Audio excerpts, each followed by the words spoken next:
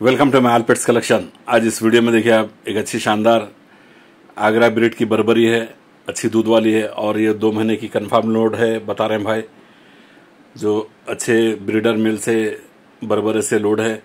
और इसके साथ में दो बच्चे भी थे, आप फ़ोटो पे देखे होंगे आप। वो बच्चे तो सेल हो गए, सिर्फ़ ये बकरी है सेल के लिए।